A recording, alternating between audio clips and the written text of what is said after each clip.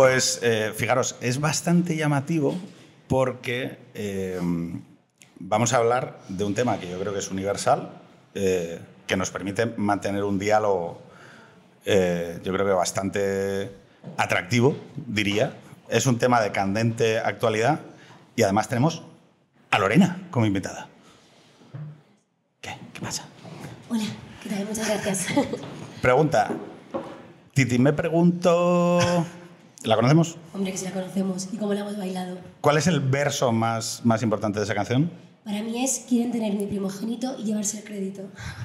Ojo, o sea, de lo que estamos hablando, amigos, es que eh, es una canción de amor. Es una canción de amor wannabe, ¿no? O sea, quiero sentir cosas, pero no puedo. Que es un poco el mal endémico de, del presente, ¿no? Diría yo. Pero fíjate, dice, tengo muchas novias, ¿no? O sea, tengo un montón de novias con las que entiendo que eh, Bad Bunny tiene intercourse, o sea, tiene sexo yaciente, se conoce en sentido bíblico, podríamos decir, ¿no? O sea, todo, sí, ¿no? O sea, podríamos decir que, que, él dice, de sexo estoy a tope. Pero lo que no tengo que es... Amor, ¿no? Desde luego. Es amor. O sea, ah, ojo, pero entonces es amor. Por lo tanto, podemos separar hoy, es decir, a lo largo de muchos siglos, eh, el sexo se entendía como una puerta al amor. En la visión clásica, vamos a decirlo así, o pre... Bueno, clásica, es que ¿qué es clásico, no? ¿Las cuevas de Altamira son clásicos? claro, o sea, pero, pero en las cuevas de Altamira existía sexo, eso lo tenemos claro, porque nosotros existimos. Sí, de hecho, sabes que en el fondo la primera pulsión artística del ser humano, ¿no? una de las pulsiones más... Eh, primordiales es pintar pollas y coños. O sea, tú vas a los co y, te tazas. Hay toros, hay no sé qué tal, pero hay unos, ¿sabes? Lo que viene siendo la vulva. Y sobre todo pollas, ¿no? En los pupitres del colegio siempre habéis sido como una obra de arte muy recurrente, ¿no? Esta cosa que te hacía, ¿no? Venía, cuando llevabas la mochila, venía uno por detrás con el otro lado del gordo, esto es un Edin, y te pintaba una polla en la mochila. vale, pero, pero entonces, o sea, podemos entender que el sexo ha sido durante bastante tiempo una puerta un paso hacia el amor, ¿no? O se entendía que amor y sexo andaban de manera combinada, ¿no? A lo largo de muchos, muchos siglos. Y luego hay momentos en la historia específicos en donde eso se separa. ¿Vale? O sea, hay momentos en los que sabemos que el sexo pasa a ser una experiencia hedonista y habría pues, mucha gente que diría, mm, el pecado y el tema del sexo es el tema de los cristianos católicos y demás. ¿no? Pero yo hoy lo que me preguntaría es, ¿existe un sexo escindido, perdón, ¿existe un amor escindido del sexo? Hoy, ¿sois hombres y mujeres contemporáneos? ¿Sois capaces de amar sin sexo? Yo diría que sí. Bueno, de hecho, Uy, no, esto de Juan más, no, no, desarrollo. No, yo diría que sí, eh, basándome un poco en la, en la, gente que tengo en mi entorno. No sé si la juventud en su conjunto eh, es una afirmación que suscribiría o no, sinceramente. Hombre, los matrimonios están muy acostumbrados a amar sin sexo, ¿no? claro, sí, sí, Se me ocurren muchos, muchas modalidades. Importantísima reflexión porque había una chica. Ah, no, no, no. Importantísima reflexión porque había una chica hace poco que en Twitter.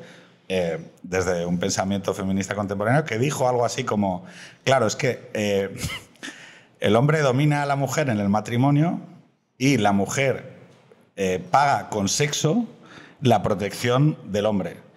Y yo pensé, joder, o sea, desconoce de tal manera, o sea, desconoce de una manera hiper profunda, o sea, porque entonces, joder, una vez, el hombre está muy mal pagado, eh, o sea, digo, eh, eh, o sea, creo que, creo que todo matrimonio, yo, yo creo que, a ver, vamos a levantar la mano, yo creo que de aquí soy el único casado, ¿no? Sí. El único que lleva 18 años con la misma pareja. Desde luego. ¿Vale? O sea, que em, vas ganando, ¿no? y, ojo, creo que, puedo, creo que puedo decir, hombre, por Lucía no puedo hablar, pero por mí eh, creo que la amo y encima la amo más, que es de cuando nos empezamos a salir y de que cuando nos casamos, que es una cosa... Insólita, ¿eh? Felicidades. Por ello. No lo creo. es que este es el tema. Pues es que yo creo el otro día estaba viendo Patrimonio Nacional, que es la segunda parte de la trilogía de Berlanga, la escopeta nacional, Patrimonio Nacional, la uh 3. Y entonces hay una escena cuando llega el, el tarambana del, sobrino, que es eh, eh, José Luis de Villayonga, y él se interpreta un personaje que es muy parecido a sí mismo, y la que hace de su mujer, Solange, es su propia mujer, Solange, que es francesa. Entonces la dejan en la peluquería y se, se dan un beso y tal, y José Luis López Vázquez, que está en el coche, le dice a su padre, joder, pero no, dice, ¿por qué la besa tanto si están casados? y le dice el padre, le dice el padre, yo qué sé, hijo, dice, estará encoñado. Pero fijaros eh, que yo creo que esto es importante. Vosotros creéis, o sea, yo creo que en la afectividad contemporánea, vamos a marcarlo como un hito arbitrario, posterior al 68, ¿vale? Eh, cuando hablamos del amor, convertimos como en una tarea proteica, o sea, como es una cosa, como cuando yo digo, llevo 18 años con mi mujer, eh, tal, y la gente, "Oh". y yo pienso, oye, pero ¿tus abuelos? Quiero decir, ¿por qué? ¿Qué?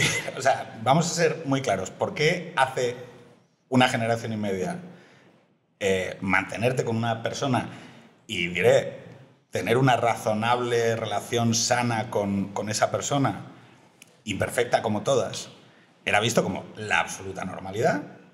Y hoy se percibe como... o sea, es que yo lo veo y pienso, no, pero sí. O sea, yo cuando me hablan los solteros Sí, pienso... Existía el divorcio, ¿no? Entre otras cosas, quizá tenía algo que ver, ¿no? Vale, eso, es eso lo que tenemos que pasar a, a- a tal. Se consiguió el divorcio, se consiguió una libertad a la hora de poder disolver parejas en un periodo que ya es democrático, o sea, es, es- es, eh, muy reciente. La, la- la institución del divorcio es una institución absolutamente reciente y contemporánea. De hecho, lo, de hecho sucede el que lo hace, y periódicamente sale uno del PSOE diciendo que lo inventaron ellos. También PSOE. Claro, pero no es el momento ya, ya han pasado los suficientes años como para decir, vale, ya tenemos divorcio. Ahora ya podemos evaluar si antes, para poder conseguir el divorcio, ejercimos una crítica intelectual y de alguna manera destruimos determinadas instituciones como la sacralidad del matrimonio, ¿no? Ahora lo que tendríamos que decir es, y poder evaluar, es si el amor, el tipo de amor que tenemos hoy construido alrededor de esas instituciones contemporáneas, como la del divorcio, es un amor mejor. Lo que desde luego se ha sobreestimado es el para siempre, quizá, ¿no? Que hemos pensado que, que el tiempo es un sinónimo de, mm, de fortaleza o de éxito, ¿no? Cuando yo creo que también el durante y la calidad de ese durante puede ser más importante y más profunda que simplemente acumular años. Mm, Yo, la verdad, o sea, estoy de acuerdo contigo en que el durante es muy importante, pero también creo, y, y lo estaba pensando mientras Pedro hablaba del, del divorcio y demás, en la, mer- la mera existencia de esa posibilidad, ¿no crees que hace que mucha gente que hubiera podido seguir amando a su pareja un montón de años, eh, al final no lo haga porque como existe esa posibilidad eh, de decir, oye, hasta aquí, eh, ese plus de esfuerzo no lo tenga. Y, es decir, se convierte un poco en una profecía autocumplida, por así decir, ¿no? el, el tema del divorcio. O sea, cuando entra dentro de lo pensable, pues de hecho, mm, pues optas por ello. Si nos ponemos así, desde luego en la India los matrimonios concertados funcionan con mucho éxito. Porque, Sí. pues no, porque, están, porque están elegidos por razones que son sólidas. Por ejemplo, una ideología común, eh, unos valores que defender, el- el- los, los hijos. Desde luego, si elegimos el deseo sexual o el amor romántico como razones para estar con alguien, son las más fútiles, ¿no? Eh, sin duda son las que se acaban antes. Claro, entonces la, la- la cuestión, o sea, yo fíjate que, que sobre esto de los matrimonios concertados, quizá por mi actitud constantemente contraria, ¿no? De decir, oye, esa gente que concierta los matrimonios, Asturias hay todavía, ¿no? Matrimonio ojalá, habría mucha gente que les resolvería mucho la vida. Quiero decir, o sea, En vaca. seamos sinceros, o sea, los matrimonios concertados tienen un sentido, que es, Oye, no hay porque no hay mujeres. quitan quebraderos de A ver, cabeza, en, seguro. No, no, en no, no. Asturias y en mi barrio Pero- también, ¿eh? O pero- sea, Bueno, no, bueno, en tu barrio. pero, pero yo vivo en el rastro y ahí te encuentras todo tipo de, en fin, gente... Pero perdonar, eh, cuando tú vas a escoger una pareja como compañero de vida, eh, el elemento fundamental es el carácter moral de la persona, no que te lo quieras follar. O sea, quiero decir, o sea, eh, seamos sinceros, porque yo creo que esto es una experiencia universal. Tú puedes follar de puta madre con gente horrible. De hecho, Moralmente horrible. De hecho, incluso mejor, a lo mejor... ¿No? Entonces, Desde luego. claro, cuando, cuando, pero el detonante para acercarte a una persona, obviamente, la mayor, la mayor parte de los casos implica que te lo quieres follar. Porque si no, ¿para qué voy a hacer el esfuerzo? ¿Sabes? Que luego igual esa persona está muy bien, pero... Claro, pero no, pero no, claro, pero, pero no pensáis que, por ejemplo, hay gente maravillosa que como no tiene una serie de, de habilidades mínimas o, un- o no supera un umbral mínimo para acceder al sexo como puerta de entrada, quedan descartados como posibles parejas y compañeros de vida, que serían unas personas maravillosas. La friendzone, ¿no? Es eso, ¿no? Exacto. Tratar a la gente como un amigo eterno, pero mm, sin sexo. ¿Sabes qué? Bajo la promesa de que sí, en algún momento habrá. Bajo la sugerencia. Ah, friendzone lo que eso es una excusa, esa- que eso es una excusa cojonuda. O sea, Esa dominación, ya. esa dominación se habla poco, ¿eh? pero hay mucho sufrimiento masculino en el, en el deseo de un pussy que jamás va a Oh, suceder. pobres chicos, da mucha pena. Sí, o sea, mucha. O sea, ¿por qué? Porque además ellas, esto lo sabéis, esto es la típica cosa de, de, de macheo de Tinder y demás, que es que eh, las mujeres escogen aspiracionalmente eh, modelos más altos, ¿no? Y los hombres, en, en media, ¿no? Se, se, se contentan con una mujer, aunque no tengan determinados rasgos o características. Esto últimamente se ha puesto muy de moda. Yo, soy, yo no soy alto, soy más bien tirando a bajito. Lo que pasa es que tengo mucho flow, bailo muy bien y una, soy, soy una persona con un carisma y una seguridad personal arrolladora, ¿no? Pero, claro, tú me has visto bailar. Entonces, y, y sí, ¿no? Sí, o sea, sí, muy bien, objetivamente. ¿eh? Quiero decir, eh, además en el mail te lo dije, soy esa persona con Eso ese que me flow sedujo para aceptar, sin duda, esta reunión. esta reunión de polla viejas ¿no? y de señoros. Pero es verdad que yo muchas veces pienso, joder, eh, por ejemplo, ahora hay un rollo con los hombres altos, ¿no? que, que los hombres, ponen- las chicas solo van a escoger hombres por encima de un 80. Y entonces los hombres... Claro, pero tú fíjate, si nosotros, o sea, es muy difícil que un tío te diga, yo solo voy a emparejarme con una tía con las tetas gordas. O sea, no- Es digo, muy difícil que lo diga, de verdad. te lo prometo. O sea, No, que pero sí que te compro lo de los hombres altos, ¿eh? yo también los prefiero y los procuro. Claro, pero- Hombre, porque no quiero ir con, ¿Con mi qué? hermano pequeño Con por la retacos. calle, ¿sabes? Me gustaría que un caballero que me cogiera por... Bien, Lorena, eh, o sea, eh, eh, eh, siendo cruel, o sea, siendo cruel, No, no. confirmando tus hipótesis simplemente. No, pero, pero, pero es verdad, o sea, pero se- sí, fíjate, a esa hiperselección femenina sí que hay una cierta eh, comprensión de, bueno, oye, es la mujer escogiendo, ¿no? Pero en el caso del hombre yo no me encuentro esa, esa situación y el caso paradigmático es el de los hombres gays, que pueden follar entre ellos. Y ya es como, o sea, quiero decir, o sea, ahí ya el umbral es... Inexistente. ¿Ves? O sea, me encanta porque... No, es que dejas un silencio. El único silencio que dejas es un Terminado, silencio, o sea. ¿sabes? Que- ¿El afecto sexual en lo no heteronormativo es igual a lo, en lo hetero? Mm, eh, bueno, eh, yo creo que es muy igual a lo que a- al, al de un hombre heterosexual. Eh, lo que pasa es que el hombre heterosexual, lo estábamos hablando antes, tiene el eh, filtro del amor de la... El hombre heterosexual tiene el filtro de la mujer heterosexual, por así decirlo. Entonces se tiene que acoplar a una cosa que no le sale por naturaleza. Sin embargo, el gay no tiene por qué acoplarse a nada. El gay está en el mejor de los mundos posibles. También te diría que no es porque las mujeres muchas veces no queramos follar. Eh, o sea, de acuerdo con que somos constrictoras del, del deseo eh, masculino, pero también porque nos han dicho que así valemos más y esto está inoculado. Sí, sí. Aunque vamos superando esa idea, nos han dicho que cuanto más esperemos, por ejemplo, a la hora de tener sexo con un tío que nos gusta, pues vamos a cotizar más al alza, vamos a parecer más respetables y, por ejemplo, podemos parecer incluso más casaderas, que estábamos hablando de- del matrimonio, ¿no? Como si nos fueran a respetar más por esa razón, cosa que debería ser absurda, pero que aún no lo es y que está absolutamente inoculada. Pero ¿no crees que hay una... O sea, yo esto aquí hago un poco de portavoz de los señoros pollaviejas que han descubierto después de una juventud en la que pues han sido profundamente liberales y también liberales en lo sexual. O sea, yo mm, o sea, me dediqué a, a intentar follar todo lo posible en, en mi etapa joven. Todo lo posible, que no es... Liberal con guarro, ¿no? Recta. Sí, sí, o sea, eh, liberal a saguarro. a, sa, a sa muy guarro. O sea, que, Es que hay un debate abierto, As- es que hay un debate- hay un debate abierto, ¿no? Intercambio de parejas, club swingers o liberalismo económico, liberalismo social. Eh, liberales de cintura para arriba. club liberal, tal. todo Y estamos hablando de clubes de intercambio de parejas, o sea, Crypto Bros. No, pero, em, pero es verdad que yo, que convalidé con mi comportamiento, y tengo que decirlo, o sea, eh, en una juventud que tenía una visión súper liberal sobre este tema, sobre que el sexo era una expresión de la libertad y que era genial eh, ganar esas órbitas de libertad y que por qué había que restringir y, y que ahora, con la madurez, sí que empiezo a ver que determinadas instituciones tienen un sentido. Y tienen un sentido que esencialmente, y además lo, veo con bastante claridad, protege a la mujer. O sea, es decir, uno puede, uno puede pensar, oye, yo quiero una mujer eh, equivalente en, madurez y en, adultez, y por lo tanto que se exponga al dolor, que es el- el contrato con la madurez es el dolor. Es decir, es asumir la responsabilidad. O sea, eh, ser libre es ser responsable de tu libertad y, por lo tanto, superar la minoría de edad y decir, eh, yo decido y decido libremente y a mí eh, yo quiero experimentar y conocer el mundo tal y como es porque no necesito a nadie que me haga de pantalla, ¿no?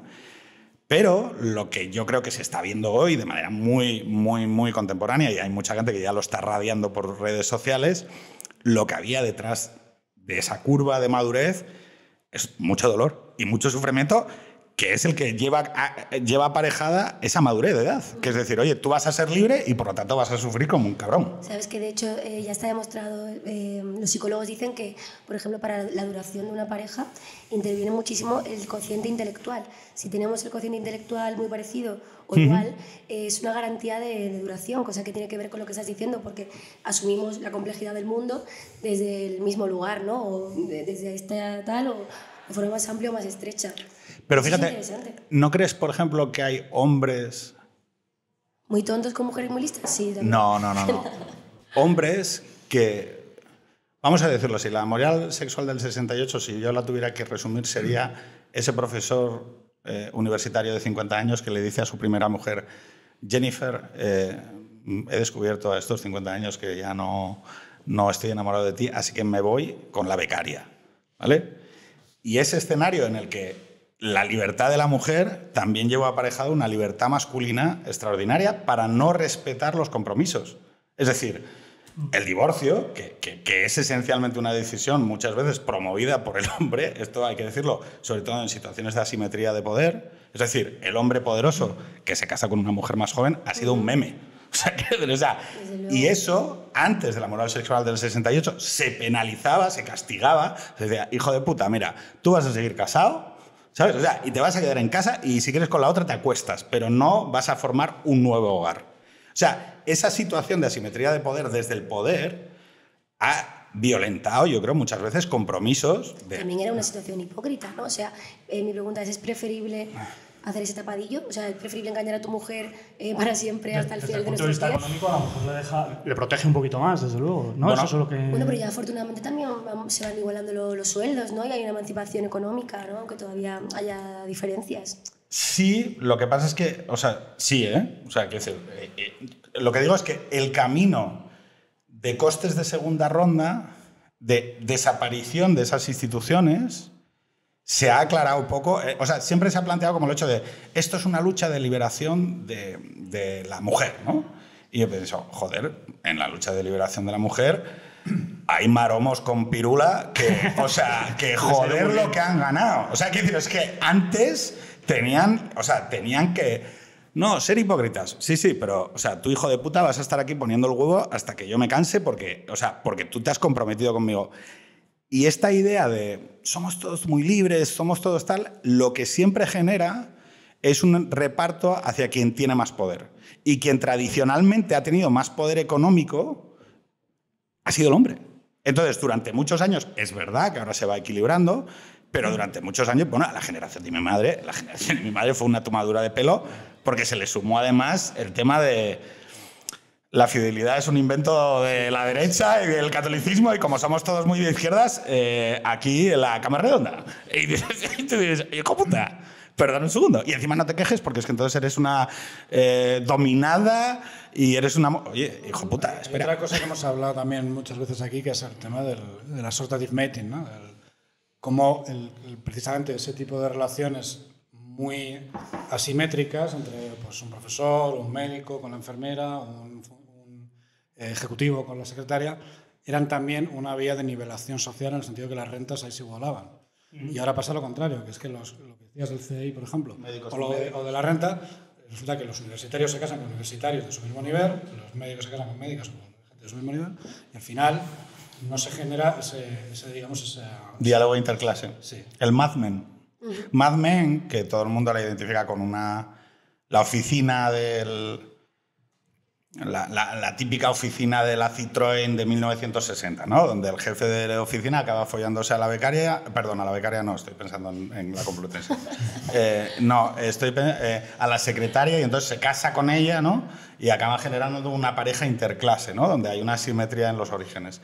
Eso es verdad que hoy es mucho más raro, es mucho más raro. ¿Por qué? Porque hay determinados emparejamientos que antes se entendían como, bueno, pues eh, es lo que ha sucedido, ¿no? Y, este amor lo tengo que proteger. Y ahora, como todo está distribuido, el amor actual, para mí el amor es renuncia. Que yo ese es seguramente el elemento de mayor contradicción que tengo con, con- contigo, por, por lo que te he leído y escuchado, ¿no? Para mí el amor no es un conjunto de experiencias placenteras. Yo vivía así, ¿eh? yo era placer-displacer, un hedonismo, ¿no? y la idea de- del amor como alguien con quien quieres celebrar la vida. Y yo hoy, a mis eh, 42 boomer años, eh, diría no, que el amor es renuncia, es aprender a renunciar por el otro. ¿no? Y eso es muy jodido porque es absolutamente contracultural. O sea, mucho Via Crucis, ¿no? Y no Sí. si se vendiese, se vendiese con un poquito más de chispa. No, no, pero te digo, o sea, pero, pero que yo soy muy feliz. Ya, O sea, pero tú eso no lo aprendes a Es una través cosa muy cristiana, ¿no? Esto Tú eso de no lo aprendes a través de la pareja. ¿Cómo aprendes eso? No lo aprendes a a partir de la pareja, o no solo. Lo aprendes cuando, entra- cuando entran en escena los hijos y cuando entran en escena los mayores. sí. Eh, sobre todo los cuidados. Para mí, o sea, para mí el, el- el hecho de. O sea, el hecho fundamental porque, por el que creo que hoy hay una crisis global de amor en Occidente, en España, pero también en muchos más países, es porque las experiencias de los cuidados que nos enseñan a renunciar y a amar esa renuncia por el otro, eh, están hoy tapiadas. O sea, quiero decir, no, no se cuida a los mayores, no se cuida. O sea, hay un. Y, y eso, o sea, yo enti- Es que yo no lo conocía antes. O sea, yo, yo antes era. Pues eh, buscas pareja como. Como vosotros, ¿no? Pero ha visto la No, luz. sí, o sea, si lo jodido es que yo soy ateo. O sea, quiero decir, o sea, eh, eh, lo mío es, es- es una cosa extraña porque lo mío es, es simplemente experiencial. Yo no creo que haya una entidad supramaterial que diga que el espíritu te diga estas cosas, ¿no? Pero sí es verdad que encuentro un sentido en la institución cristiana del, del amor. O sea, lo- o sea, que un sentido de bueno, de bien, más allá de que exista o no Dios, que, no, que yo creo que no existe. Pero que esa noción del amor como renuncia tiene un enorme valor porque, porque te recompensa. O sea, yo me doy cuenta que a mí me recompensa en el día a día, eh, hoy. O sea, en ir a buscar a mis hijos. A mí lo que me preocupa eh, es que eso se pueda convertir pues en una forma de simplemente estar cuidado, a veces ni siquiera cuidar, sino, eso lo hacen muchos señores mayores. Veis que es muy habitual en los viudos que rehagan su vida eh, más rápido y luego las mujeres viudas casi siempre eh, no rehacen su vida. Y esto tiene algo que ver con un deseo de ser cuidado y de no morir solo. Y también una incapacidad para a lo mejor solventar la, la vida doméstica, ¿no? Pero desde luego yo creo que eh, la libertad eh, tiene riesgos y también esa es su gracia, ¿no? La gracia de apostar. Eso lo decía Antonio Escotado, que, que el amor es admiración y que no, no deberían ser tan importantes los genitales del otro ni qué hace con ellos. Yo te puedo contar un par de cosas de cómo, de cómo hacía Antonio Los esta genitales, ¿o de- No, no, de, de cómo se relacionaba con, con la admiración hacia el otro sexo. Con todo el respeto. Con toda la, con toda la admiración. Eso no sabía- eso no se había pinchado un hueso. No, no, no, no, para nada. Sí, sí, mira, yo, o sea, yo parto de la base de que quizá yo vengo de, de un, de un entorno sociológico que fue de los primeros que empezó a, a atacar, por la vía de hecho, eh, determinadas instituciones que nacían la fidelidad, la monogamia, el compromiso entendido como algo eh, que no dependía de tu voluntad, o sea, que, que- que tú te desapoderabas de él, ¿no? Que era como, como, bueno, tú no te divorcias, punto, ya está, o sea, y a partir de ahí construyes todo, ¿no? Eh, creo que esa, ese tipo de instituciones fueron atacadas, seguramente nosotros somos ya hijos de una generación de posibles divorciados. Yo, no- los, mi- mis padres no están divorciados, los tuyos no, No, porque los además míos no. estuve en... Sí. ¿Sí? Es que te diría, ¿de qué año eres tú? El 91. Joder, macho. O sea, eh, asombrosa, o sea, juventud, esperaba, no avasalladora, avasalladora. No, no, sí que me lo esperaba, pero vamos. Vale. ¿Y tú, em- era, o sea, como hija de padres separados, era algo ya común dentro de los jóvenes de tu generación? Yo creo que se conozco muchísima gente de padres separados, casi más que de padres... eh, de hecho, decían que uno de cada tres matrimonios se separan ya, ¿no? Yo es que creo que ahí, dos, eso es una buena barrera, eso es una buena barrera generacional. O sea, yo me acuerdo en, el- en mi colegio, por ejemplo, al hijo de divorciados todavía era como, no, pobre, es que tal. Y se me miraba como con pena. Pero, tú Sí, pero es que tú eres de entornos fachas. Eh, bueno, aparte de yo vengo, es una barrera generacional y luego ya también está el ideológica. entorno facha, pero- que es el entorno facha ayuda, ¿no? Eh, pero, Los niños divorciados tienen dos, dos cumpleaños. eh, los niños Sí, no, no, sí, luego hay muchas ventajas. O sea, tienes el mamoneo este de estoy en casa de no sé qué, tal. Siempre, o sea, es un- una, una juventud con mucha más libertad. Tiene, tiene sus ¿Y tú no ventajas. lo viviste en ningún momento como, ay, qué pena? No, como nada traumático.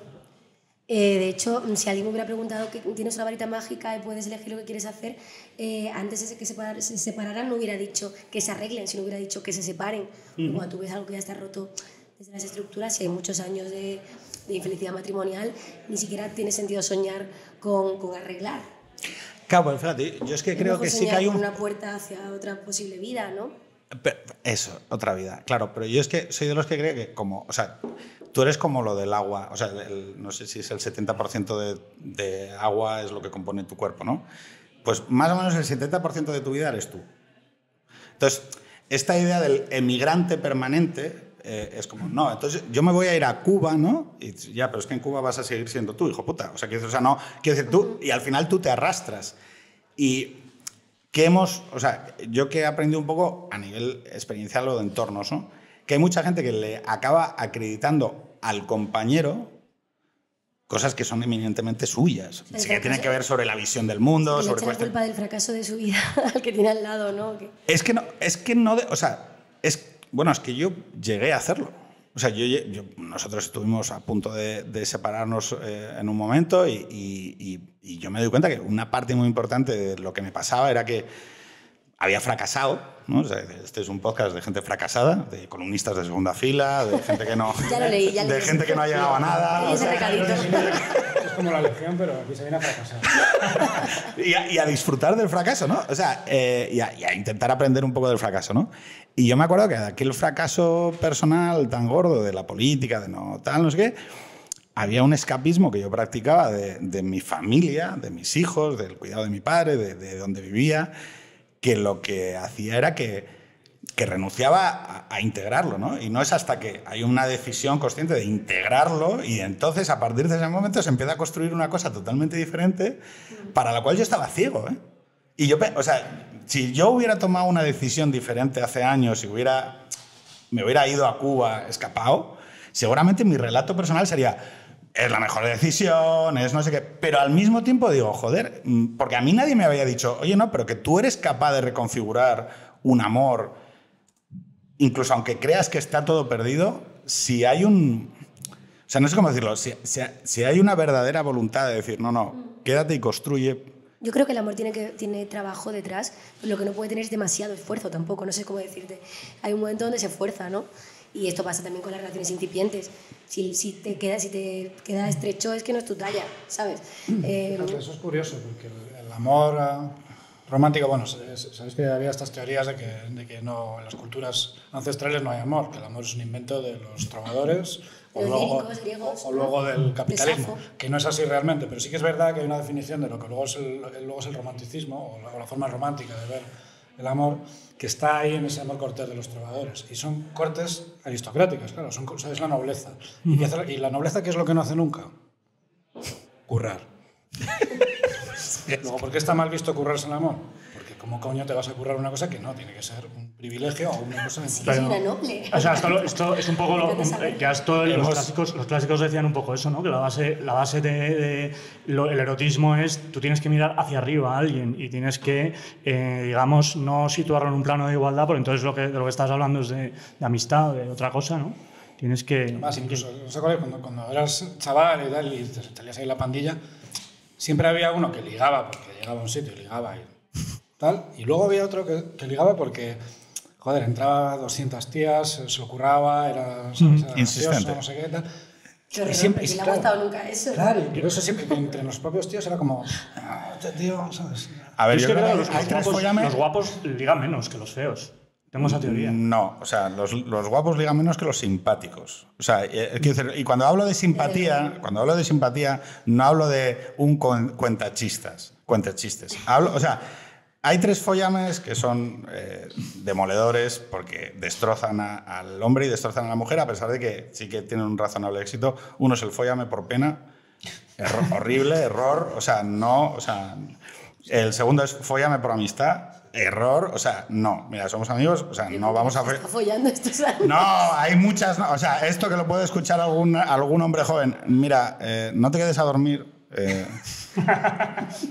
vas a estar empalmado el 50% de la noche. Vas a pensar que ella está deseándote y está roncando. ¿Vale? O sea, No eres una persona interesante. No, o sea, se ha puesto un puto pijama de mm, franela, no quiere follar contigo. O sea, decir, o sea, te ve como un colega y ya, y eh, de puta madre, le das la mano y te piras. Y eso genera, joder, y ya, y ya volverá. Pero respetas más al hombre que sabe irse a tiempo. Porque Totalmente, o sea, más que el mendicante. El mendicante es una Es figura. antierótico, es antierótico el Y puede, puede acabar consiguiendo algo, pero siempre va a ser triste. O sea, siempre va a ser triste. Polvo triste. Eso, por lo triste. O sea.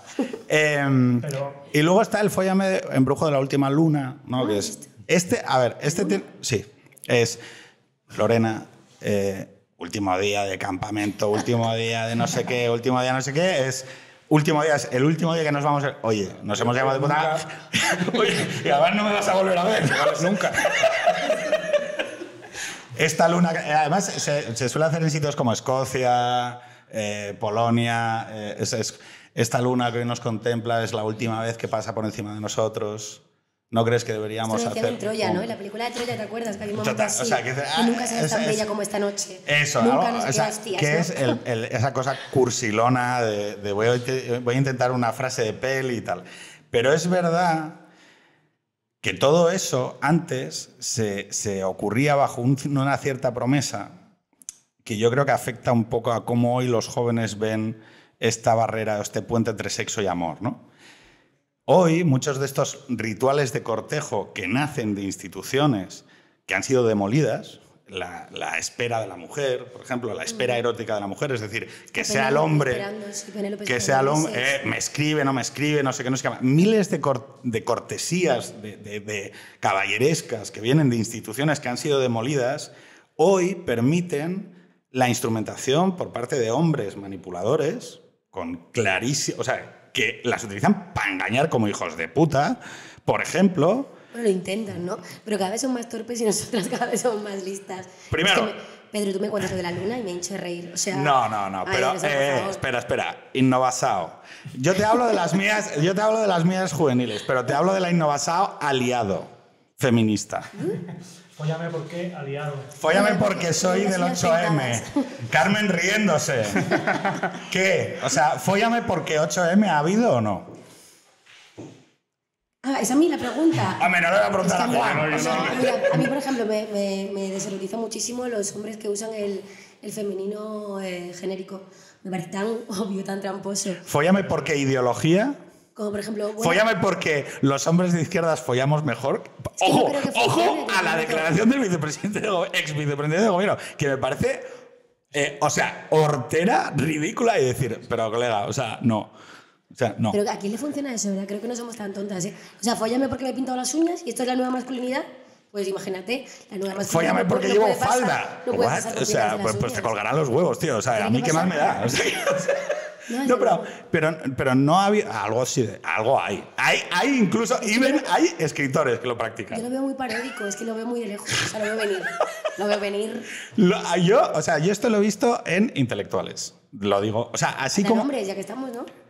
Pues el, el- el- bueno, el, de- el que tenía una relación a tres bandas con eh, Luna de Miguel y con Ernesto. Ernesto no, tío. Yo Erne- de- creo que de Ernesto va de frente. O sea, él es lo que es. Igual me equivoco, ¿eh? Pero, o sea, Antonio J. Rodríguez, estás diciendo. Tal cual. Pero este no era, una, no era tres bandas, era Luna quien tenía con cada uno de ellos, ¿no? O sea, digo, por Sí, pero yo es que, o sea, yo hay una cosa sobre, digo, porque, o sea, yo me he movido por algunos entornos nocturnos de, de la noche y, y del... O sea, yo puedo entender que eh, dentro del mundo de intelectuales, escritores, además que es una cosa como muy francesa, ¿no? Del intelectual follador, ¿no? O sea, yo- es muy follador.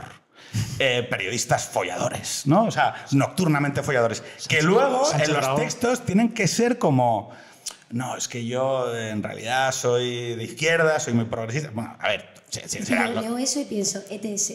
O sea, se está rifando una ETS. Pero- o sea, que pero- ¿quién puede hacerse O sea, dar que- tanta gala de este rollo? Eh, quiero decir, ha habido, o sea, quiero decir, dentro del, y lo digo, ¿eh? dentro del mundo conservador, con todas sus imperfecciones, hay algo más de coherencia. Es decir, lo creo sinceramente. Dentro del mundo del intelectual de izquierdas, creo que hay una profundísima incoherencia que es, oye, mira, somos todos unos guarros, ¿no? O sea, lo somos. Quiero decir, vale, pues vamos a intentar comportarnos como si no lo fuéramos. Pero dicen, no, no, los guarros son los de derechas. Y dice, a ver, colega, eh, no me Yo contes creo que lo que pasa es que está en un momento, o ha habido un momento de una transformación, ¿no? O de inversión de valores.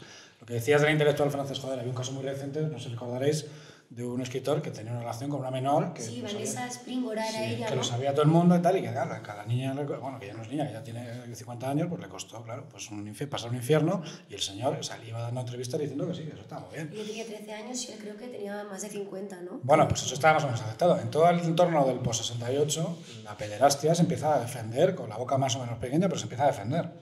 Hoy en día, el- la izquierda da un giro muy distinto y entonces ya se está valorando todo lo que son asimetrías de poder de una manera muy distinta. ¿no? Entonces, creo que están eh, en, en la izquierda, lo sexual está en un momento de cambio y está en un momento de, de que también hay cierto cambalache de valores. A ver, yo, yo parto de la base de que esta es una parte de la destrucción sentimental de los jóvenes que yo creo que hay que poner encima de la mesa, que es que el mapa, el mapa de orden, o sea, tú para pensar tienes a veces que, o sea, incluso para pensar contra, tienes que pensar contra algo que esté definido, ¿no? Ah, oye, yo quiero atacar la moral sexual conservadora, perfecto, ningún problema, pum, pum, pum, pum, pum. Pero es verdad que hoy, que la moral sexual conservadora no es lo hegemónico, le ofrece una hegemonía muy rara que a mí me cuesta describir, que es la que le llega a los jóvenes. O sea, hoy los jóvenes, incluso para pensarse como aspiracionalmente sentimen- o sea, sentimentalmente aspiracionales, ¿no? Es ¿a qué aspira hoy una mujer joven o un hombre joven que quiera construir un mapa sentimental para el resto de su vida? Oye, porque sabíamos lo que, nuestras abuelas entendían como el modelo virtuoso de vida y ejercimos una crítica contra ese modelo de vida porque entendíamos que dominaba a determinadas personas y las obligaba a vivir situaciones que no querían. Pero en el hoy, yo lo que percibo es que hay unos jóvenes que cuando empiezan a pensarse como seres adultos y seres maduros, no tienen una puta mierda de herramientas y no les hemos dado ni siquiera un mapa del territorio de lo que se van a encontrar. ¿Por qué? Si yo tuviera que aconsejar a mi hija, le diría, oye, mira, si tú aspiras a tener una relación larga, larga, y es tu aspiración y tú te ves a ti misma como madre y quieres ser una persona que envejezca en una casa eh, y te- tener nietos y demás, es muy importante la edad en la que construyes esa relación. Se lo, se lo diría como consejo a mi hija Carmen, ¿vale? Y a Manel y a Adrián, bueno, si, si salen no heteronormativos, pues llevaré a Juan y le diré, Juan, aconseja. Dé la charlita. Pero sí, mira, a Manel y a Adrián, si alguno sale no heteronormativo, le diré, mira, tu padre cree que seas gay, lesbiana, bisexual o el sun sun corda, te dé igual quien te dé igual con quien te acuestes, lo que sí espero de ti es que asumas una moral sexual conservadora. Y entiendas que el propósito último de la existencia es Pobre chico, la que le viene encima. no, pero es, oye, tú sé gay, ningún problema, vas a ser gay, pero aspiras a casarte. Y tú te quieres casar. Y yo quiero nietos. Eso quiere- eso quiere O sea, eres lesbiana, que- ningún que problema. ya- lo que ya es- Pero nietos, o sea, pero nietos. No, pero no, que se nietos. O sea, y votas al PSOE, al Podemos, a quien te salgan los cojones, pero nietos. ¿Por qué? Porque, por ejemplo, hay una cosa que detecto, que es que una parte del desorden, del nuevo desorden amoroso contemporáneo que le lanzamos a los jóvenes, se parece mucho a la sexualidad no heteronormativa. Ay, ¿Sí? Uy, uy, uy. Sí, sí, sí.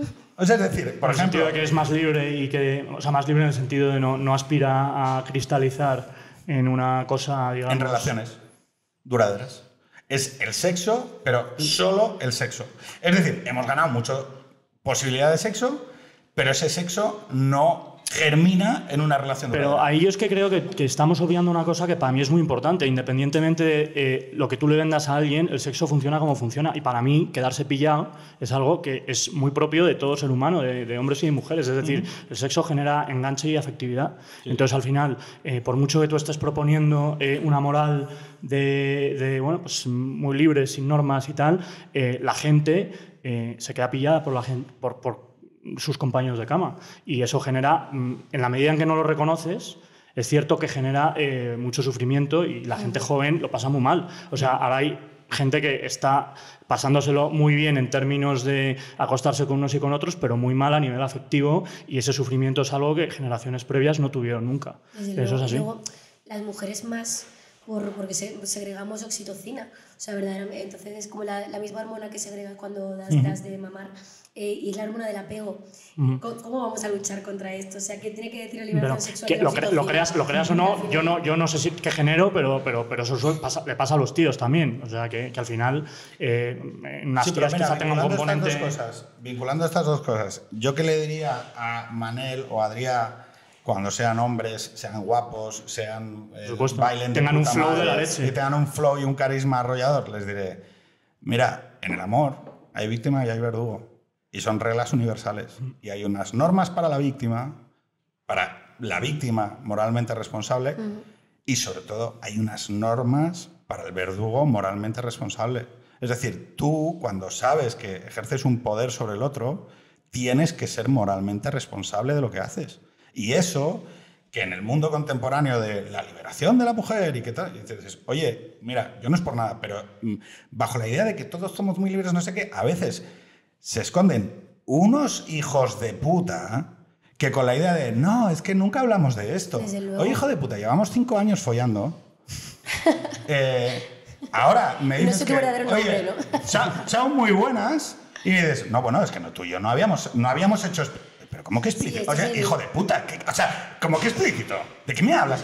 Y es esa idea de que, bueno, no, oye, es que todos somos autónomos. Y, oye, no, no, no, vamos a ver, el amor tiene unas normas y hay un verdugo y hay una víctima. Y el verdugo, que, en este mundo tiene una responsabilidad moral. Y, las instituciones conservadoras que existían disponían que el verdugo tenía una responsabilidad moral. Mm. Y hoy es como, ah, no, es que yo me voy. Es el capitalismo emocional, ¿no? O sea, el usar y tirar, la obsolescencia programada, el amor líquido del que hablaba Bauman y todo este chocheo que está sucediendo. Pero de todos modos, eh, ¿qué pensáis? Cuando hablamos de compromiso, no sé si realmente podemos hablar de eso en sentido profundo porque las garantías no existen. O sea, nadie puede dar verdaderamente garantías de que te va a querer. Yo te puedo dar una garantía que voy a estar contigo, pero no de que te voy a querer. Y entonces a veces estamos aspirando demasiado, ¿no? Como, como si pudiéramos prometer. Es que, el amor no se puede prometer, lo que se puede prometer en todo caso es la permanencia a tu lado. Es que para mí eso, eso, para mí es amor, por ejemplo. Es que eso es amor. Eso es esclavitud. No, no, no, no, no, no, no, A mí nadie me obliga, nadie, no tengo a ningún policía a la puerta para que no me vaya. Y yo libremente escojo renunciar a todas las mujeres que no voy a besar, a todas las noches que no voy a acabar por ahí en no sé qué camas. Qué hermoso. no, pero lo escojo libremente. Escojo a todo, escojo todo eso y digo que me quiero quedar con Lucía. Y lo digo, y se lo digo a ella y me lo digo a mí mismo, que es más importante. Porque el problema que hay es que, o sea, en el amor hay un otro, que es a quien, a, quien te rindes, o sea, a quien dices, y, y, luego lo fundamental del amor es que tú te desapoderas de la decisión y decides que ya no vives en un mundo en el que en tu mano esté disolver, una, disolver eso. Y esa catedral, tú no, o sea, de la misma manera que si tú fueses propietario de Notre Dame tú no puedes, o sea, la responsabilidad moral hacia Notre Dame te dice que tú no puedes tirarla y convertirlo en un centro comercial, aunque sea tuyo. Cuando tú tienes una pareja, en la dimensión en la que yo me relaciono con la familia, que es verdad que para mí tiene un componente entendido, entendido sacralizado, es decir, en donde yo encuentro una frontera, una última frontera, un horizonte donde digo, esto ya no forma parte de mi árbol de decisiones, yo no puedo hacer esto. Porque si lo hago, me convierto en otra persona, ya no soy yo. El matrimonio, la celebración de la boda, cuando le decimos, ¿tú, tú, tienes ganas de casarte? No están mis planes así. Pero no, no, no digo si tus planes, digo si tienes ganas, si tendrías ganas. Podría ser, sí. ¿Vale? Pero dependería, en todo caso mucho de quién fuera esa otra persona, porque hay gente que quiere casarse por casarse. No. no es mi caso, desde luego. Pero cuando tú descubras a esa persona, la institución de, la, de la boda, ¿no? Y juntas a tu familia y juntas a la familia de la otra persona. Y todos os odiáis. Y no, no, no, no, no. Y juntas a tus amigos y juntas a los amigos de la otra persona. Y te pones delante de tu comunidad, de tu comunidad de inscripción, y dices solemnemente que pase lo que pase, que no importa lo que suceda, que aunque la otra persona tenga un cáncer, que aunque la otra persona mm, eh, se quede en silla de ruedas o que a vuestros hijos acaben eh, dependientes, tú te vas a quedar y os pongo a todos por testigos de que me voy a quedar y si rompo este juramento que hago como hombre o mujer adulto, entonces no seré yo y os pido a todos que me ayudéis a cumplirlo. Esa, o sea, no, no, es que, o sea, Me parece honorable, me parece honorable. Bueno, es que parte, pero es que tiene sentido. Eh, pa- parte del problema yo creo que es que precisamente se ha difuminado ese, ese- esa división, ¿no? O sea, yo creo que tú has estado escribiendo un tipo de amor que me parece muy... O sea, todo lo que has dicho es algo que yo puedo suscribir. Lo que pasa es que para mí pertenece a una fase, digamos, previa a eso que está diciendo Pedro. Eh, en un momento dado hay gente que libremente decide eh, oye, no, y eso ha sido hasta ahora, ha sido una fase de prueba. Eh, si me cuesta mucho, entonces yo me voy. Y, y ambas partes entienden que esas son las reglas del juego, pero hay un momento en que esas reglas del juego cambian. Y para mí ese momento es precisamente eh, pues el de ese compromiso del que Es estás que hablando. tiene valor porque cuesta mucho. Es que nada en la vida que tenga verdadero valor no cuesta. Si es fácil. O sea, quiero decir. Cuidar a tus hijos tiene valor porque es difícil, joder. O sea, quiero decir. Y tener una pareja a largo plazo con la que construyes algo que va más allá de ti mismo es dificilísimo y por eso tiene valor. Mira, tiene razón Juan cuando dice que eso puede ser una cosa también un poco generacional, porque quizá yo me refiero a eh, cuando estás pues, conociendo a diferentes personas eh, sucesivamente y todavía no has elegido, digamos, eh, aquella con la que quieres pasar tu vida. En ese caso no creo que tengamos que entretener- entretenernos hasta el infinito Claro. con cada colega que, ¿sabes?, con el que topemos. Eh, porque si, si nos cuesta tanto incluso pues, llevarnos bien o, o encantarnos o, o tener una burbujita, ¿qué cojones vamos a hacer el resto de nuestra vida? Va a ser O sea, tú no crees en el amor para toda la vida. no lo sé, no lo sé. ¿Qué, qué es creer? O sea, Creer. Me parece que, no, que una Consideras que es un ideal Me inalcanzable. parece complicadito. Pero porque luego. no te ves a ti misma o porque no ves al No, otro. es que no veo a nadie. O sea, No, no, no. Hombre, es que es un deber ser, o sea, no o sea, el matrimonio es una mierda si, si lo comparas con lo que debería ser el matrimonio. Es decir, el matrimonio hay una teoría y luego una práctica, claro. Entonces, yo no veo tampoco a la gente tan feliz y tan realizada, quizás es eso. que- y hablo de diferentes edades, que por supuesto hay casos de éxito. Y yo los celebro.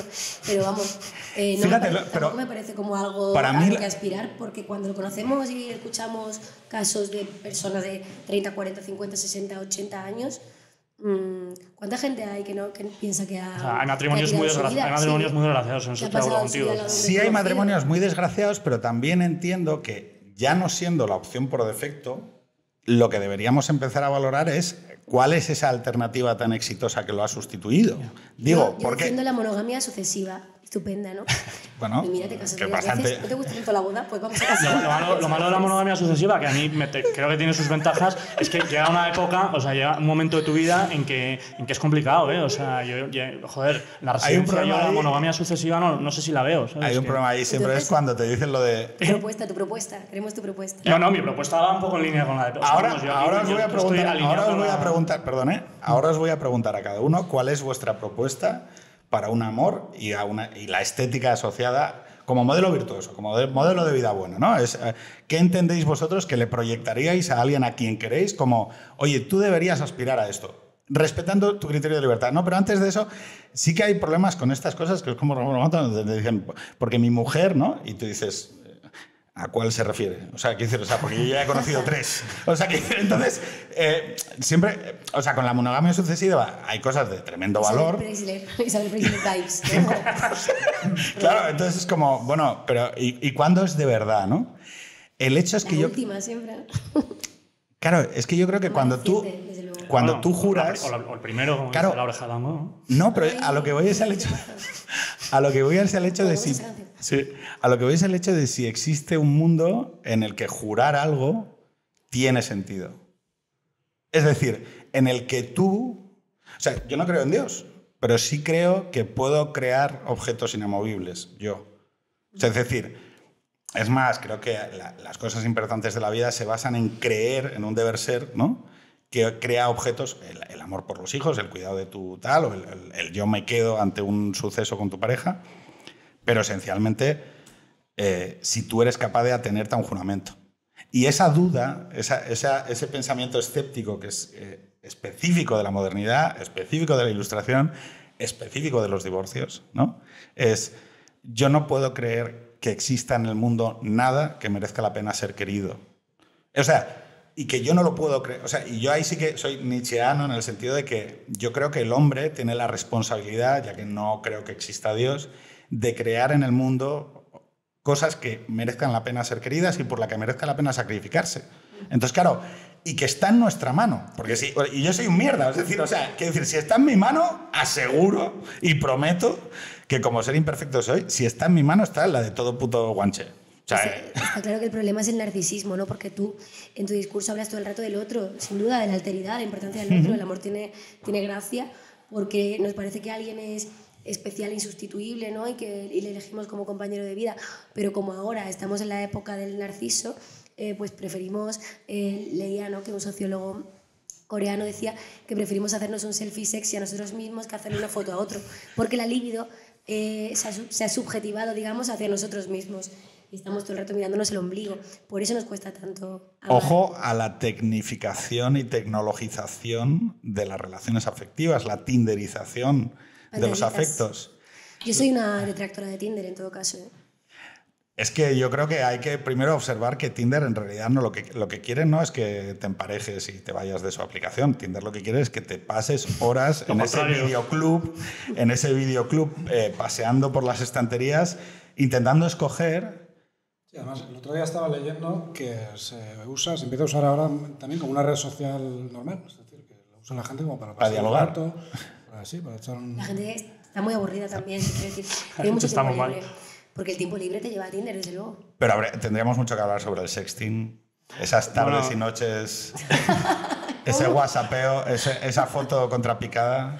Pensaba que ibas a hablar de las aplicaciones de Oye, geolocalización del, del lado gay que son todavía más geolocalizaciones. brutas que Tinder. Eso, pero ah, vamos a hablar un, pa- un paso previo que es eh, cu- cuando la gente hace pre-sexting. No sexting que es, oye, ¿cómo la tienes tal? Sino pre-sexting. O sea, ¿cuándo, ¿cómo son esas tipologías de mensajes en las que el tonteo, ¿no? Es. O sea, te sacas fotos, ¿no? Para hacerte ver con el otro, pero, o sea, tardas 10 minutos en sacarte la puta foto. ¿No? Pregunto. A mí me han contado He ido a la peluquería, he cogido la interview y he visto que. Un amigo me ha dicho que. son, o sea, llegar hasta ese punto yo creo que tiene hay El cosas como presexting, el presexting en el mundo recursos muy heteronormativo es. Bueno, es que Es no, corto, sé si es hay, breve. no sé si hay pre-sexting ahí. o sea, pero, Bueno, pero vamos, hay, hay recursos clásicos como lo de que, que llevas puesto y tal, ese tipo de cosas, ¿no? No, diciendo eso- esas que- cosas. a lo mejor esto es muy boomer, Sí, pero, no pero el, equivalente, el equivalente de tal, de qué, qué haces ahora, eh, o dónde estás, o estás en la cama, o no sé qué, no sé, Me- hay, hay preguntas que yo qué sé. A mí me hace mucha gracia, esas cosas, es que me descojonaría. O sea, mm, yo no hago sexting ni pre-sexting ni hostias. Y de hecho creo que hay un error, me pongo esa cara, pero vamos a ver. ¿No? No, no, te juro que no, es que no me, no me erotiza. Me gusta foto insinuante, quiero- camisón, en plan, estoy leyendo aquí. Yo soy el eh, directo, estoy viendo ¿no? una peli de Kiarostami y justo se ve un cacho de tetamen. ¿no? No, soy el directo, soy el directo. Es que hay mucha gente. O sea, me encanta ¿Verdad? que hay como una especie de. Hay una especie de. Estoy aquí leyendo esta obra y, y se sacan la foto, pues en traje baño. Perdón, se sacan la foto en traje baño o con el bikini. Aquí leyendo, ¿no? Y se. Es a mí de todos modos no me parece interesante poner las cartas boca arriba antes de, de una cita, o sea, me, me parece interesante el cortejo. Y cuando yo ya sé claramente lo que quiere el otro, por ejemplo, pierdo interés y prefiero que esto se desarrolle eh, en persona a que sea virtual, te lo prometo. O sea, mi, No, no, mi el suspense. va por ahí. Por es un, ejemplo. un erotismo de suspense, eh, hasta el Sí, final no se sabe. thriller, me acabo en Eso thriller. Un cuchillo ahí. No, pero luego también hay un error común, yo creo, eh, de muchos hombres heterosexuales eh, que creen que la genitalidad tiene que ver con la sexualidad. O sea, como que de repente nos va, nos va a poner súper cachondas, pero una foto de un pene. Yo te juro por Dios que no conozco a ninguna tía O que sea, me haya dicho, vaya foto. O sea, Nadie.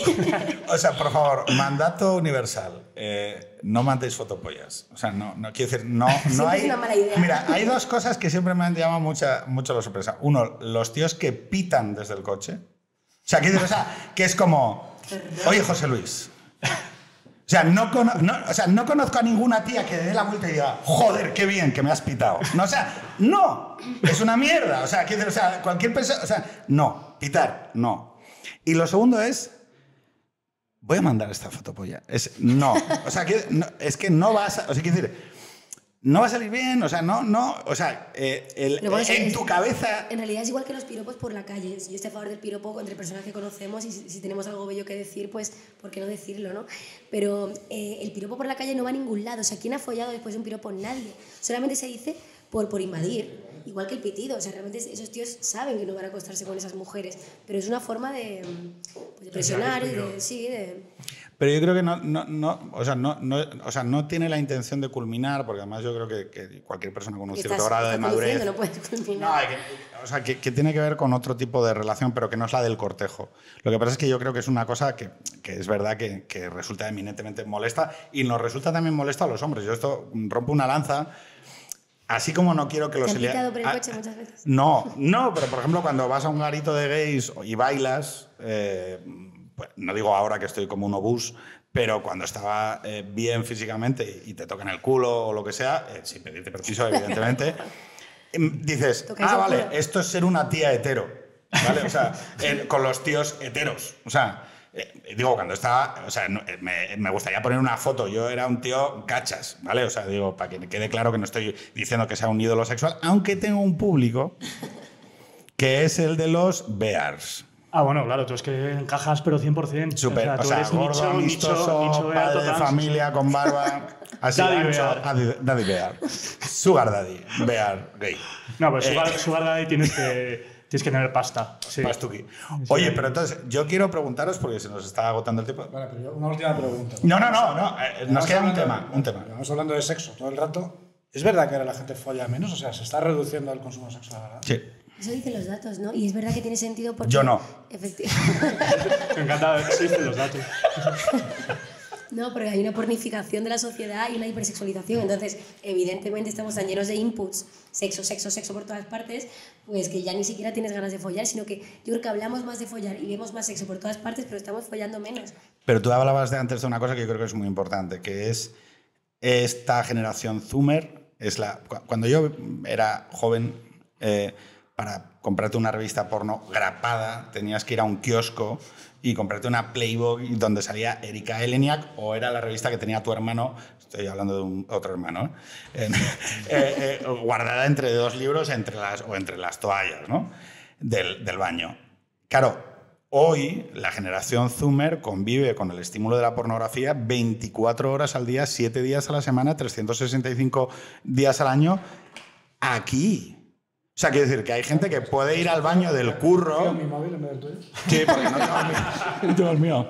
Eh, Google, Google Chrome, eh, modo incógnito, el gran amigo de la peña. ¿eh? O sea, para que no quede. ¿Cuántas el- cosas sabes de ese tema? Hombre, vale, o sea, otra cosa no, pero. No, pero bueno, los niños con 8 años, antes era con 11, ¿no? Eh, su primera experiencia sexual es, es con el porno. Es lógico que con 30 o con 40 ya estén buscando experiencias sexuales pues delirantes y, que tiene mucho que ver también con la violencia, porque siempre quieres llevar el, placer más lejos y cuando eh, enseguida has visto mm, cosas locas, Bueno, el umbral sexual, por ejemplo, se está desplazando. Yo recuerdo, o sea, eh, como, como mayor en la mesa, eh, claro, cosas como el sexo anal, las mamadas o determinadas prácticas sexuales que eran vistas como cosas de actriz porno cuando nosotros teníamos 15, 16, 18 años, de repente descubres que a quien se emancipa sexualmente muy pronto ya es como, no, no, bueno, pues entonces el anal, no sé qué, no sé qué. Y digo, ¿what? o sea, ¿qué coño es esto? O sea, eh, pero claro, eso forma parte también de la construcción de un sexo en el que en realidad tú no estás buscando la construcción de una pareja a largo plazo, sino que estás consumiendo. O sea, estás consumiendo algo que tiene forma humana, pero que no es un otro. O sea, está claro, de hecho en el, en el porno no hay ningún tipo de, de relato. O sea, se no se casan al final. Al final no es se por- no casan. es porque no se casen, sino porque las películas que tengan no, no, escenas es que eróticas no se casan. Sí, pero las escenas eróticas eh, pueden ser estimulantes y pueden ser artísticas, pero desde luego tienen un contexto y un relato. Tinto Brass. ¿Quién? Tinto Brass, director de cine erótico. Joder. Mira, otra cosa que ha desaparecido. el cine erótico. El cine erótico eh, que construía relatos y escenas y que era mucho más narrativo y por lo tanto está mucho más cerca del cerebro sexual de la mujer eh, que del hombre. El hombre mm, es verdad que ve, o sea, en el sexo es como tetas, culo, polla, coño. O sea, es como un relato fragmentario. Mientras que cuando tú ves el cine erótico, el cine erótico es un relato, es una panorámica, ¿no? De, de un relato que además es narrativo. Es, y está pasando esto y está pasando lo otro. Y es verdad que ese grado de excitación, que era más narrativo, ha sido borrado por la ola de porno. Es decir, ya no hay graduación. Ahora ya es, no, no. Mm, O sea, da igual que digas porno para mujeres en Pornhub. No, no, es que todo es explícito, coños, ¡guau! O sea, y luego ya, perdona, y de- y el, el cine normal no pasa un poco lo contrario. Es decir, antes en todas las pelis si españolas había Tetas. una escenita, tal, no sé qué, y ahora ya no hay nada. claro. Porque o es explícito. Había demasiadas tetas, ¿no? Bueno, pero eran como. Tetas. no digo si eran demasiadas, O sea, yo- pero era como todo el mundo yo las creo que subía, hay- era- o sea, Sobre que- todo había tetas gratuitas, quiero decirte, que hay ¿eh? unas tetas que tienen, que sentido. O sea, por el 100%. brazo, Reza para como que puedas. Full support. tetas. O sea, full tetas gratuitas support. ¿Por qué? Porque además es un recurso que narrativamente, joder, pues entre, un, entre un diálogo eh, citando a Dostoyevsky y unas buenas tetas gratuitas, o sea, quiero decir, Por o sea, economía poli- narrativa, tetas. Y si tetas. las tetas están Dostoyevsky, pues mucho mejor, ¿no? O sea, pero que digo, eh, y que me tiran culos de hombres. ¿Cuáles son las tetas de los hombres? A mí el culo me da igual absolutamente. Vale, pero entonces- La espalda, la espalda, los brazos.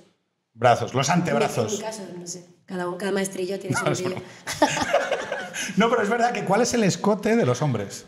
No, pero ¿os acordáis Bueno, que, yo por creo que el torso, los brazos, la espalda. Kevin Costner era el equivalente a Maribel Verdú en su momento, porque en todas las pelis se llama el culo. Tú ves Robin Hood, culo. Ves eh, los culo. Y esa lucha por la el igualdad. culo- el culo también, ¿no? O sea, Sí, esa lucha por la igualdad se ha perdido. No, pero yo creo- Tony cantó, culo. ¿Le hemos visto el culo a Tony Cantó? Muchas veces. Porque era, un- era una cosa que nos pasábamos en En la campaña de Ayuso, ¿no? Culo. Entonces, ah, vale, pero entonces acabemos porque era el, el- el último epígrafe de esta, de esta conversación muy agradable, eh, lo tengo que decir, muy disfrutada, en la que he hablado muchísimo, pero que es normal. Em, propuestas estéticas alrededor del amor como modelo de vida bueno. ¿Estéticas o éticas? O las dos. Las dos. No, una propuesta alrededor de la idea de belleza. Y que la idea de belleza te lleva a un nivel ético y además lo creo sinceramente, lo bello tiene un, tiene un componente ético. Dicho lo cual, eh, o sea, lo bello es moralmente bueno. Sí, Es- por eso dicen que, que matar a una mariposa es ser un monstruo, pero matar a una cucara- cucaracha es ser un héroe, ¿no? Porque efectivamente la, la belleza es moral, ¿no? Exactamente. hay, algo, hay algo moral en la belleza.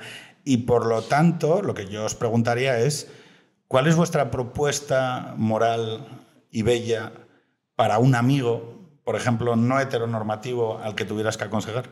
No para ti, porque nos- todos somos imperfectos y tal, sino para alguien a quien desees bien. O sea, yo creo es que está todo realmente inventado y que eh, el sexo lleva consigo, pues un poco lo que he dicho antes, eh, repito al final, el sexo lleva consigo eh, l- las normas de funcionamiento, es decir, eh, tú empiezas a acostarte con alguien, aunque no sea el, el- orden o la cronología en que sucedía tradicionalmente, ahora empiezas a acostarte con alguien y eso te puede llevar a descubrir algo más allá y lo único que tiene que hacer la gente es dejar que eso, o sea, dejar que suceda o, no- que no suceda, pero explorar al fin y al cabo la dimensión afectiva de- del sexo que la tiene, siempre la tiene.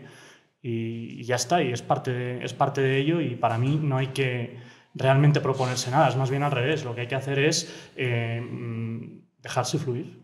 También para gays, lesbianas y bisexuales. Eh, pues sí, en gran medida también. Lo que pasa es que tiene otros matices porque quizá ahí, eh, en fin, lo que decíamos antes, no, o sea, la, la sexualidad de los tíos, que es la que yo conozco, no, no la de las lesbianas, eh, quizá te lleve a otras cosas, pero también te lleva a eso y también descubres ese tipo de cosas, eh, aunque no sea tan frecuente, aunque a lo mejor necesites eh, echar 10 polvos para de repente sentir algo, pero bueno, son 10 por lo menos, no son 10.000.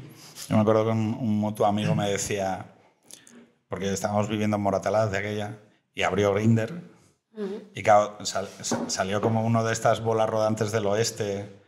eh, y le dije, joder, pero. Porque claro, veía el piso y decía, joder, que de puta madre, qué barato el piso, que oye, qué guay, 140 metros, no sé qué.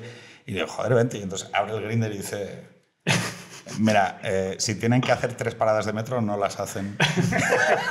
y yo, ¿what? Y dice, sí, sí, o sea, en el mundo no heteronormativo, si hay que cogerse un metro tres paradas, Hay que joderse. no hay ni sexo. O sea, estábamos buscando a alguien que cruzase el océano nado por nosotros A y ni siquiera se cogen tres paradas de metro. Esto es terrorífico. Esto es duro. Eh, Jorge, una propuesta de belleza. No, yo, yo estoy muy mayor ya para hacer propuestas a nadie, porque ya no, no tiene uno ni autoritas, ni ganas, ni...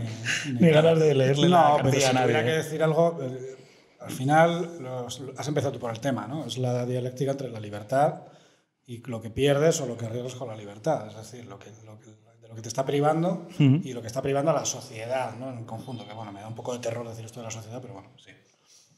Entonces, bueno, claro, ¿qué- qué- qué- pero ¿qué- ¿cuál es la propuesta? ¿Qué vas a decir? No, es que el divorcio está mal, pero hombre, quiero decir, No. Es que, claro, no, no estamos en ese mundo en el que sea posible ni siquiera formular la, pre- la- la pregunta. ¿no? Eh, entonces, creo que tiene más que ver con, con ser tú consciente individualmente de lo que te da la libertad y lo que te quita. Y de hasta qué punto quieres sacrificar cosas.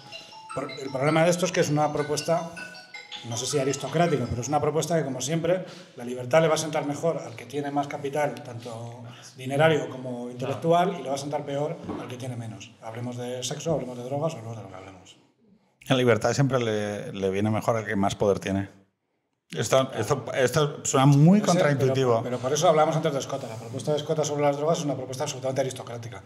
Y ojo, que los que de su, de su círculo de amigos también cascaron unos cuantos. ¿eh? Pero claro, si eso lo metes en Vallecas en los años 70, pues claro. pues- Ah, hay que tener una relación libe- liberal con las drogas. Sí, de puta madre. Pero mm, el, el, el, el container de gente que va a palmar y, y, por ejemplo, porque no tiene los recursos suficientes que podemos tener y que puedo tener yo. cuando tú vas a Estados Unidos, ¿cuál es el problema principal de, los, de la comunidad afroamericana? Aparte de la violencia policial o del racismo o lo que quieras decir. Pues El divorcio. problema de la- no, el problema de la familia. Ah, El que divorcio los, opiáceos. No, no, no, no, la, can- la ca- la cantidad, la cantidad de niños que crecen sin, sin una figura paterna y sin un- y en unas fami- familias desestructuradas, muy pocos recursos, pero además con muy pocos recursos afectivos. Los hijos del 68, que decía. Los hijos del 68, pero pobres. Y, y en la medida más destructiva contra los, los hombres jóvenes negros eh, y mujeres jóvenes negras ha sido la, la demolición en las comunidades afroamericanas de la noción de compromiso y familia. Y eso se los ha llevado por delante y, y, bueno, es uno de los mayores indicadores de, de fracaso académico, fracaso marginalidad, o sea, es, es una cosa acojonante. ¿Por qué? Porque el divorcio, para gente bien, pues está de puta madre, pero para, para mucha gente es un acto demoledor de clase y de tal. Acabamos ya, ¿eh? que veo que ya las compañeras que luego tienen que grabar un podcast más. Em, como representante de la mesa de las mujeres jóvenes que están conviviendo con una realidad institucional evaporada, Un consejito, dices, ¿no? Bueno, como ni siquiera un consejito, consejito. estoy yo para consejos. Pero no, pero no para ti, que todos nos conocemos y no, no es qué quiero yo, no, es qué le querría a una persona a la que quiero tratar con amistad que desee como el modelo aspiracional. Eh, pues eh, yo diría que como, como decía Ortega y Gasset, el amor es un fenómeno de la atención. Creo que todo debería empezar porque verdaderamente no olvidemos lo importante que es el encantamiento, ¿no? Esa atención iniciática, porque ya parece que nos, nos da igual una cosa que la otra o que todo se haya vuelto como hiperrealista. Yo diría que no hay que perder de vista el punto peliculero y creativo de las relaciones para vivir por lo menos una larga luna de miel, ¿sabes? Eh, que luego, de hecho, será irrepetible y entraremos en la era del reproche. Pero otro semi-consejito sería, yo creo que pasárselo bien con tu pareja, que es una cosa que mucha gente no hace porque tiene de repente muy, muy colocado en lugares diferentes el ocio y, y la pareja, o solamente se pasa bien con sus amigos, o no sale con su pareja. Y luego una idea que seguramente es un poco más problemática, yo desaconsejaría pues vivir juntos eh, hasta cuando se pueda, eh, solamente cuando se tenga hijos, eh, con la idea de, mm, de prolongar el, el deseo sexual y de no agotarlo enseguida. De hecho, sabéis que, por ejemplo, eh, una de las razones por las que los hermanos no se acuestan eh, es porque, Porque se han frienzonado. es, es porque no se ¿Qué desean han culazo criado- tiene mi hermano? O sea, Bueno, los hermanos, los hermano. hermanos fue así, o sea. porque se han criado juntos, ¿no? Sí. O sea, que creo que, que es como un gran, un gran puente hacia el aburrimiento sexual, así que por favor retrasémoslo. Entendido. Jorge, ¿quieres eh, decir algo más? Porque No, te voy a decir, con el tema de la, de la familia también hay una cierta neurosis, creo, no sé si está afectando a la pareja, pero está afectando desde luego a lo, a lo estúpido que se vuelve la gente, que es convertir a los niños en, en mensajes ideológicos, en commodities ideológicas, en señales. Bolsos de Louis Vuitton. Y eso también creo que puede tener un efecto sobre las parejas, ¿no? porque al final lo que debería ser un acto de amor y un acto de crianza o un acto de, bueno, sencillamente de dar vida, se convierte en que el niño de repente es una especie de, de, de cocker spaniel eh, de campeonato al que hay que llevar a los... Totalmente. Y luego también eh, no, no estar con, con alguien eh, por el precio del alquiler, ¿sabes? Que esto pasa mucho. Salvo que el alquiler sea en el barrio de Juan. Claro, o sea, si es en la moraleja, entonces sí. O sea, quiero decir, porque, a ver, vamos a ver. Que mi barrio no es la moraleja, ¿eh? Bueno, ya, pero digo, pero estamos en, o sea, perdón, eh, tres personas de esta mesa hemos estado en tu casa, en la que entendemos que es tu casa familiar, la que eh, nos permitió No conocernos. y que- claro, o sea, quiero decir que yo luego también he estado en tu piso de mierda, en la cava baja, pero, o Eso sea, también lo tienes que yo- contar, joder. ya, pero a ver, o sea, no sé, alguien le pone en la mansión que tenéis familiar eh, con esa piscina y con tal, pues al final es como, bueno, tu casa es esa, a mí qué más me da que tengas un pisito en, en la cava baja. La que yo- importa es la otra. Intenté enamorarme de ti ese día hasta que descubrí que. Yo quisiera enamorarme. Nos podemos enamorar a otro nivel, Lorena. O sea, acuerdo. Estás en el Acepto, rastro como acepto. cooperante, ¿no? Estás, ¿Eh? estás como cooperante, es un verano solidario que estás haciendo ahí. Pues señores, eh, muy importante. Eh, mi propuesta, eh, yo creo que ya ha quedado desarrollada de sobra, pero se basa en el amor como renuncia y construida alrededor de una institución que para mí es la que me apetecería recuperar, que es el perdón. Creo que el, el perdón es un, eh, el, el acto último de amor hacia alguien que te ha fallado, que ha fracasado, que necesita de tu perdón y al que te lo dan o se lo das, ¿no? Y creo que es precisamente de ese fracaso, de ese reconocimiento de la profunda imperfección del otro, de ese amor ya no como objeto de deseo inalcanzable, sino como producto absolutamente pedestre que tienes delante, ¿no? Y ese me quedo, ese te perdono, yo creo que construye un tipo de relación que, que va más allá de nosotros y que es verdaderamente trascendente y es al que aspiro que mis hijos algún día aprendan a, a querer como, como su madre y su padre se quieren. Así que nada más. Hasta la semana que viene.